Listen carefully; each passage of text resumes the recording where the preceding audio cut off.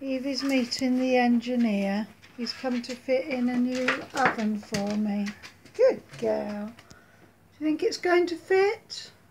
Hopefully. Oh, good. You're doing a good job there.